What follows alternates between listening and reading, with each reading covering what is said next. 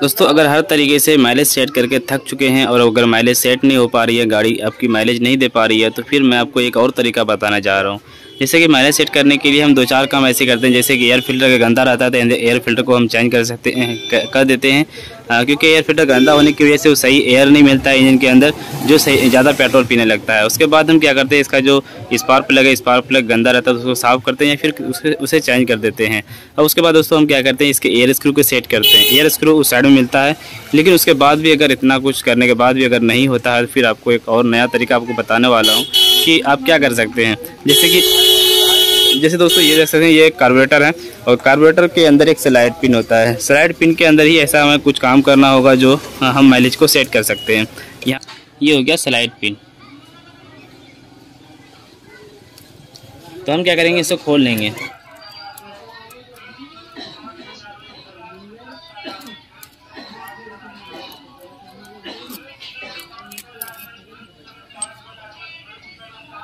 इसे खोलने से पहले, इसे एडजस्टिंग करने से पहले मैं आपको कार्बोरेटर खोल के दिखाता हूँ कि कार्बोरेटर ये जो है, ये स्लाइड पिस्टन ये पिन ये स्लाइड जो है, वो कैसे काम करता है इस कार्बोरेटर के अंदर? और ये हमें एडजस्टिंग करना चाहिए या नहीं करना चाहिए? क्या इसके वजह से माइलेज बढ़ सकती है या नहीं बढ़ सकती है? तो मैं आपको कार्बोरेटर खोल के दिखाता हूँ। तभी आप समझ पाएँगे कार्बोरेटर में काम कैसे करता है और इससे कुछ फ़र्क पड़ेगा या नहीं। तो यहाँ से हम पहले कार्बोरेटर खोल लेंगे ले तो दोस्तों, यही स्लाइड की वजह से गाड़ी की स्पीड बढ़ती और घटती है। हम जब भी गाड़ी को आगे भगाते हैं तो इसी स्लाइड के ज़रिए से भगाते हैं। हम इसको रिपेयर करने का तरीका जानेंगे। इसके ज़रिए से हम माइलेज को कैसे बढ़ा सकते हैं? अगर बहुत ज़्यादा आपने काम कर दिया, फिर भी माइलेज नहीं बढ़ रही है तो फिर आप आप लास्ट आपको लास्ट में ये काम करना होगा।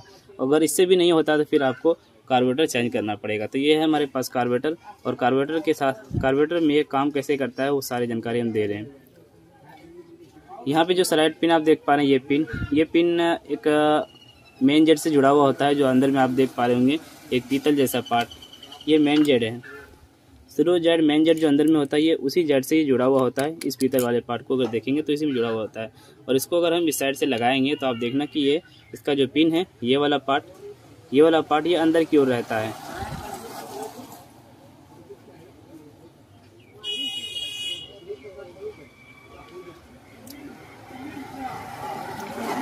देखिए ये अंदर की ओर चला गया। तो भाई, आप देख सकते हैं कि ये किस तरीके से ये काम करता है। जब भी हम रेस को बढ़ाते हैं, एक्सेलेटर को खींचते हैं तो ये पिस्टन, ये जो स्लाइड है, ये ऊपर की ओर आता है। और ये जितना ऊपर जाएगा, ये उतने ज़्यादा गाड़ी स्पीड में चलेगी और उतनी ज़्यादा ही पेट्रोल पीता है इसके ज़रिए से। अब पेट्रोल, ये इसके उठने से पेट्रोल नहीं पीता। इसके उठने से पेट्रोल नहीं पीता है। पेट्रोल पीता है इस पिन के ज़रिए से। ये पिन जितना बाहर निकलेगा, उतनी ही ज़्यादा पेट्रोल पिएगी। ये कुछ इस प्रकार काम करता है। अब इनमें से अगर आप आरपीएम देखेंगे तो आरपीएम ये इस स्क्रू को जैसे हम टाइट करते हैं तो गाड़ी की स्पीड कैसे बढ़ जाती है? तो गाड़ी स्पीड बढ़ने का कारण ये है कि जैसे हम इसको टाइट करेंगे तो इसके ज़रिए से ये जो स्लाइड है, ये ऊपर की ओर बढ़ती जाती है। ये देखिए, मैं इसे चलो मैं इसे अगर लूज करूँगा, ये नीचे की ओर आ जाएगी। ये देखिए अब देख पा रहे हैं कि उजाला जैसा महसूस होता होगा।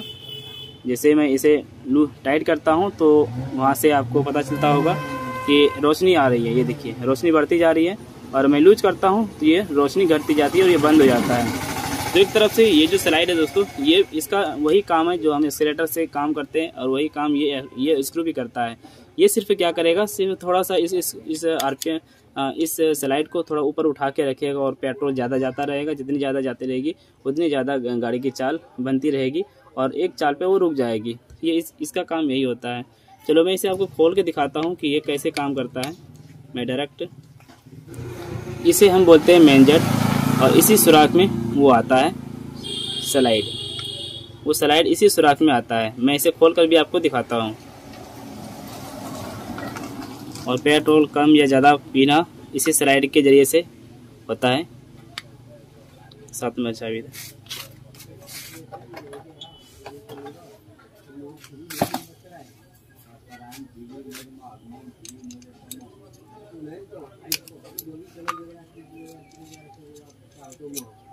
ये देख सकते हैं कि इसके अंदर सुराख आपको नज़र आता होगा। एक तो छोटा छोटा जो सुराख है, इसके ज़रिए से पेट्रोल बाहर की ओर निकलता है, खिंचाव होता है। और साथ में ऊपर देख रहे होंगे तो ऊपर जो सुराख है, ये पूरा सुराख होता है। इसका सुराख आर पार होता है।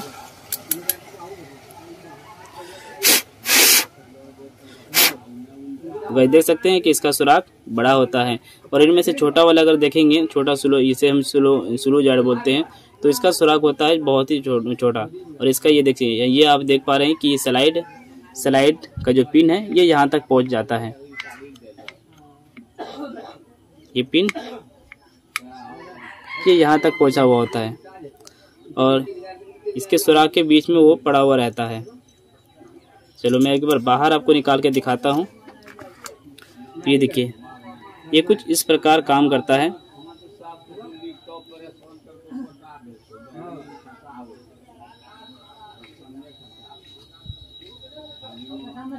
दोस्तों आपने देखा कि ये कैसे काम कर रहा है? जैसे ही हम इस एक्सीटर को खींचेंगे हाथ से हम एक्सीटर को खींचेंगे तो ये पिस्टन ऊपर की ओर उड़ता है। ये पिस्टन ऊपर की ओर उड़ता है और ये जो ये जो जेड है ये मेन जेड ये एक जगह पड़ा, पड़ा हुआ रहता है। तो ये पिस्टन ही आ, ये स्लाइड ही ऊपर नीचे होता रहता है। और ऊपर नीचे जब जितना हम करेंगे उतनी ज़्यादा हमारी गाड़ी की चाल आगे पीछे होती रहेगी। देखिए जैसे कि हम इस स्लाइड को हम ऊपर की ओर खींचेंगे तो इसका पेट्रोल कुछ ज़्यादा लेने लगता है और जैसे हम इसे नीचे छोड़ देंगे तो पेट्रोल कम लेने लगेगा, है ना? तो ये सिस्टम दोस्तों इसका साथ बना हुआ होता है और इन्हीं के साथ ये पेट्रोल का खिंचाव होता है। और पेट्रोल जो आता है, ये इसी के ज़रिए से आता है। ये देखिए, मैं आपको करीब से दिखा देता हूँ। जैसे जैसे हम इसको नीचे ले जाएँगे तो वैसे ही इसका सुराख ब्लॉक करता जाएगा, बंद करता जाएगा। और जैसे हम इसको नीचे लेंगे बाहर निकालेंगे तो इतना सुराख बढ़ जाएगी। अब इसे गा, इस गा, गाड़ी को अब इतना भी पेट्रोल नहीं चाहिए कि वो जला ना सके। अब ज़्यादा पेट्रोल जाने लगता है तो गाड़ी क्या होता है कि काला धुआँ मारने लगता है पेट्रोल। ज़्यादा पीने की वजह से काला धुआँ मारने लगता है और उसी टाइम हम पता लगाते हैं कि गाड़ी पेट्रोल ज़्यादा पी रही है। तो दोस्तों ये ये ज़रूरी नहीं कि सिर्फ़ इसी की वजह से पेट्रोल पी रहा है। अब देखिए मैं इसको खोल कर दिखाता हूँ कि ये किस तरीके से काम करता है। अगर मैं इसको एडजस्टिंग करूँ ऊपर नीचे करूँ तो क्या इसके ज़रिए से पेट्रोल कम या ज़्यादा पिएगी? वो भी हम चलो देख लेते हैं। ये आखिर करने से होता है या नहीं होता है? तो इस स्लाइड को खोलने के लिए आपको यहाँ पर अंदर में एक फाइबर वाला पार्ट मिलता है, प्लास्टिक वाला पार्ट मिलता है। हम इसको क्या करेंगे, हम इधर की ओर सरकाएँगे। हम थोड़ा हम इस साइड की ओर घुमाएँगे, क्योंकि इसमें लॉक तरीके से, लॉक से फंसा हुआ होता है। तो मैं पेचकस के ज़रिए से ही इसको घुमाता हूँ थोड़ी बहुत, और ये मेरे ख्याल से निकल जाएगी तो ये निकल चुका है, देखिए। मैं आपको बाहर निकाल के दिखाता हूँ। देखिए, इस स्पिन का काम है, इस पिन को दबा के रखना। इस पिन को दबा के रखना, ये काम है इसका।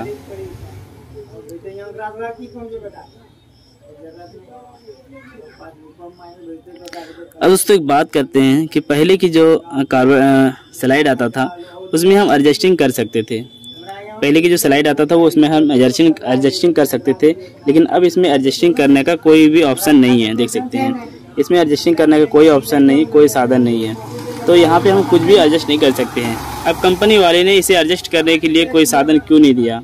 दोस्तों, आपसे रिक्वेस्ट करूँगा कि इस वीडियो को पूरा देखें, तभी आप समझ पाएँगे। मैं आगे ये भी बताऊँगा कि माइलेज किस तरीके से आपको बढ़ाना है इस गाड़ी की। किसी भी गाड़ी की जो हंड्रेड सी बाइक होती है, जो भी बाइक हो उसका माइलेज कैसे बढ़ाना है? अगर माइलेज की समस्या बनती है तो वो कहाँ से बनती है, उसको सही कैसे किया जाता है, वो भी हम आपको बताएँगे इसी कार्बेटर के ज़रिए से, ठीक है? पता है? क्योंकि इसका वो काम नहीं है जो हम लोग करते हैं। माइलेज को बढ़ाने को लेकर माइलेज बढ़ाने के लिए हम इसमें जो इस्तेमाल करते हैं, कुछ जुगाड़ करते हैं। हम कुछ भाई क्या करते हैं कि इसके अंदर प्लास्टिक काट के हम डाल देते हैं वाशर की तरह लगा देते हैं और इसको हम थोड़ा ऊपर की ओर उठा देते हैं। ये भी कर, करते हैं। लेकिन दोस्तों इसकी वजह से माइलेज में कोई फ़र्क नहीं पड़ेगी। ये मेरा मेरा मानना है। अब मैंने ये पुराना वाला कार्बेटर निकाला बी एस थ्री बाइक का। इसका स्लाइड आप देख लीजिए कैसे काम करता है। मैं इसको बाहर निकालता हूँ। इसको मैं सिर्फ़ ऐसे धक्का देना है और ये बाहर निकल जाएगी।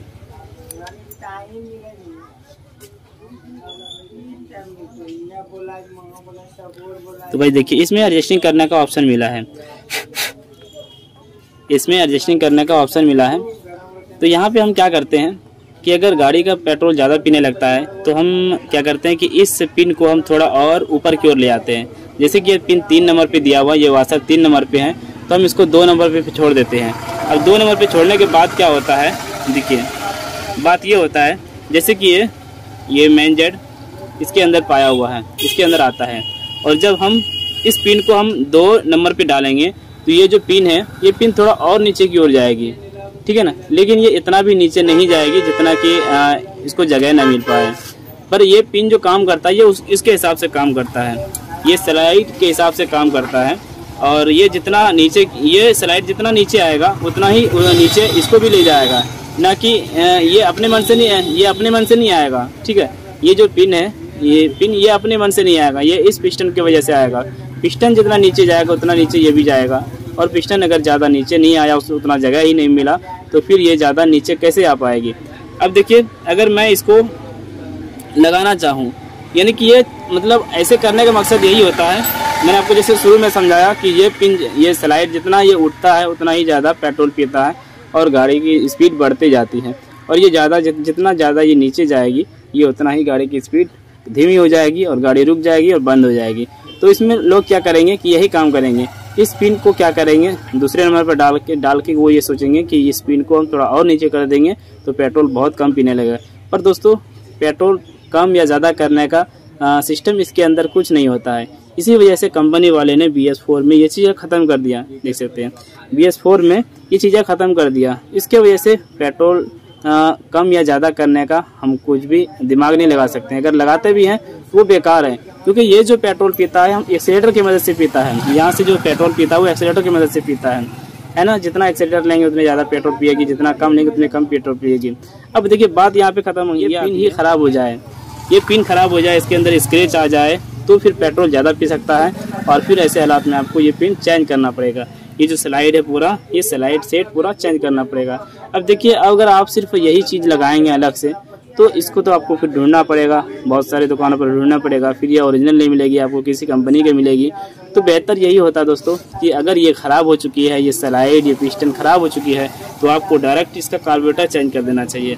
कार्बोरेटर के साथ में ही ये आता है। और कार्बोरेटर के साथ में जो ये आएगा कंपनी का फिटिंग आएगा, और वो बिल्कुल सही फिनिशिंग का आएगा। तो बेहतर ये होता है कि कार्बोरेटर चेंज कर दें, इसमें कोई भी जुगाड़बाजी ना करें। ठीक है? तो आप समझ चुके हैं मैं क्या कहना चाह रहा हूँ, कि इसके ज़रिए से हम माइलेज को या फिर पेट्रोल को कम या ज़्यादा कुछ नहीं कर सकते हैं। ठीक? अगर इसमें ये ख़राब हो जाती है स्क्रेच आ जाती है, जैसे कि पिस्टन में चलते चलते क्या होता है, ये जैसे ये पिस्टन अभी सही है। चलते चलते आप देखेंगे किसी किसी गाड़ियों में ये बिल्कुल बिल्कुल सादा दिखाई देता है। व्हाइट कलर का सिल्वर अंदर का जो सिल्वर है वो दिखने लगता है।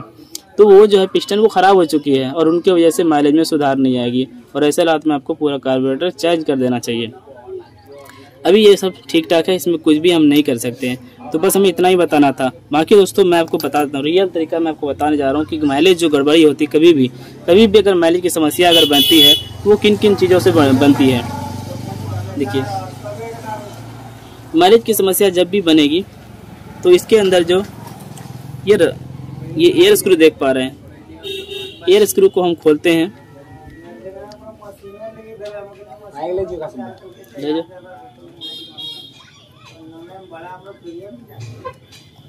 मैंने इस एयर स्क्रू को निकाला बाहर।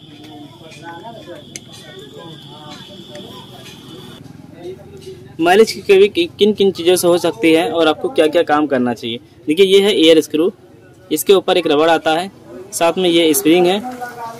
ये स्प्रिंग है, एक एक वाशर लगा हुआ है यहाँ पे और साथ में इसके ऊपर भी एक रबड़ लगा हुआ है।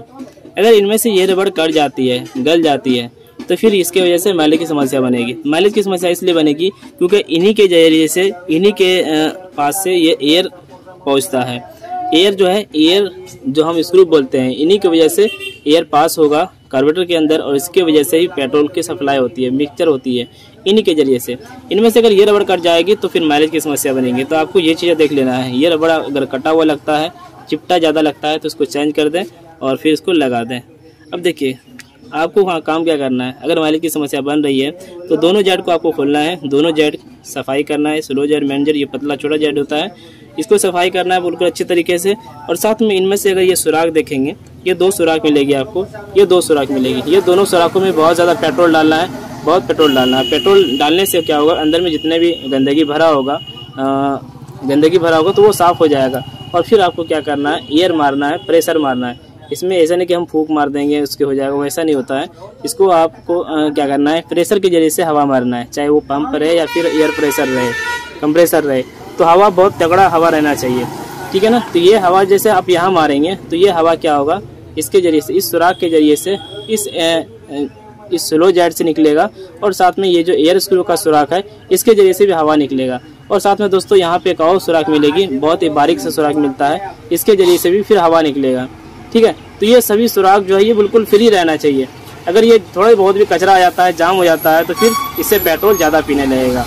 तो पूरे कार्बोरेटर को बिल्कुल अच्छे तरीके से साफ़ करना है, उसके फिर लगा देना है और फिर आपको एयर सेट करना है। एयर स्क्रू को सेट करना है। एयर स्क्रू को जो सेट करेंगे मैं वो भी आपको बता दे रहा हूँ कि किस तरीके से सेट करेंगे।